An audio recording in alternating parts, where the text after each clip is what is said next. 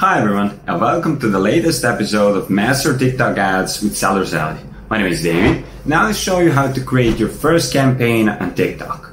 I'm sure many of you want to know more about it, so keep watching. Also, don't forget to subscribe to our YouTube channel and follow us on all social media channels for more cool content.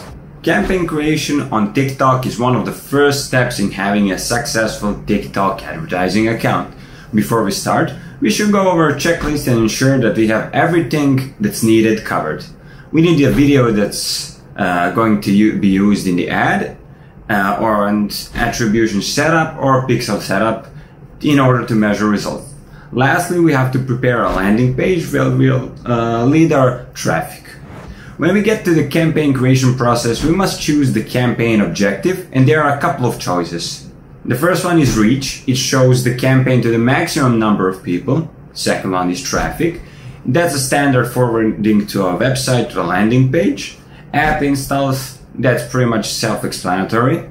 Video views picks people who are most likely to watch your videos to the end. Lead gen is suitable for businesses that want to get leads. Conversions prefer people who are more likely to convert an objective, for example, purchase something on your e-commerce. And catalog sales are just like Google shopping campaigns where they show multiple products. After we pick an objective, we can start with the ad group creation. While creating the ad group, there are targeting settings that need to be selected. They include placement type and whether we're going to allow users to like and comment. Targeting is very complex and we can really get creative there. Uh, and we can also select different kinds of people that we're going to target. After that, we're selecting the language and the location. There are also choices of gender, age, user device, and of course the bidding and optimization goal.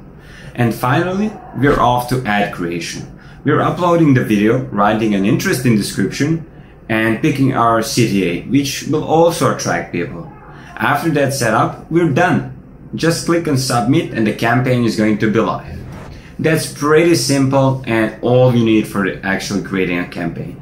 If you have questions about this topic, be sure to write us in the comment section below and don't forget to subscribe to our YouTube channel and see you next time.